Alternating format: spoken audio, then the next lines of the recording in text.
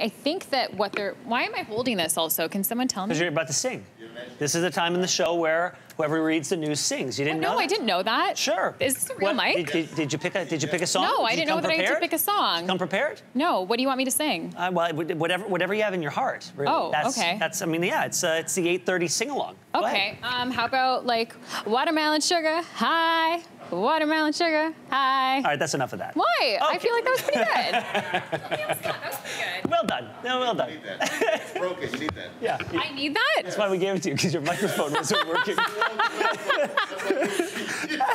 Oh my gosh, I actually did give you a song. You though. did. I thought this was a toy. What toy. else can we make sure- Do you know I'll what, do. Kwame? I thought this was a toy because while I was reading this story, there's a camera in front of me. I'm reading the story here. There's a guy in the window behind doing some crazy dance and like trying to take a picture. And I thought Kwame was like, "You should do something for this guy." Like, Whenever they give me that thought the mic was microphone, I- for. I, become Ron Burgundy.